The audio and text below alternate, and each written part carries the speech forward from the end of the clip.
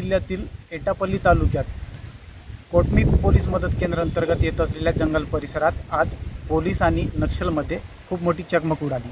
या चकमकीत तेरा माओवाद्यांना कंठस्नान घालण्यात गडचोली पोलीस दलाला यश मिळालं.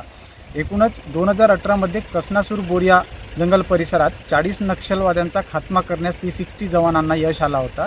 त्यानंतर ही दोन हजार एकवीसमधली ही सर्वात मोठी घटना म्हणून ओळखली जात आहे. त्या अनुषंगाने आज महाराष्ट्र राज्याचे गृहमंत्री दिलीप वडसे पाटील गडचिरोली येथे येऊन पोलीस दलाचं अभिनंदन केले. त्यांनी पत्रकार परिषद घेऊन या घटनेची अधिकृत माहिती दिली आहे. कारण या देशाची लोकशाही आणि देशाच्या अस्तित्वाला धोका करण्याच्या उद्देशानं ही नक्षलवादी चळवळ राबवली जाते.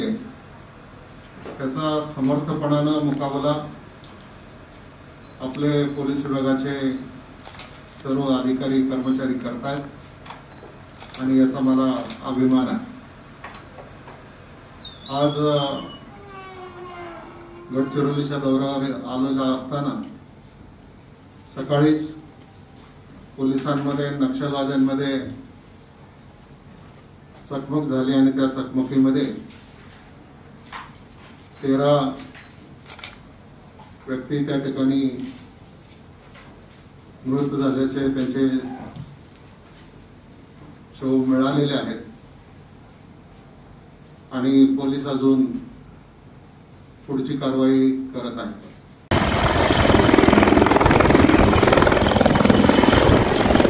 एकंदरीत यासाठी मी सी सिक्स्टी जवान त्यांची तुकडी आणि त्याचबरोबर D I G Sandeep Patil S P Goyal आणि या कारवाईमध्ये सहभागी झालेले सर्व जवान ॲडिशनल एस पी वगैरे यांचं मी मनापासून अभिनंदन करतो आणि या सर्वांनाच मनापासून मी शुभेच्छा देतो. गेल्या काही कालावधीमध्ये अशा अनेक प्रकारच्या चकमकी पोलीस आणि नक्षलवाद्यामध्ये घडलेल्या आहेत आणि यामुळे या गडचिरोली जिल्ह्यातला नक्षलवाद पूर्णपणे खात्मा नक्षलवादाचा करण्यासाठी पोलिसांनी कंबर कसलेली आहे?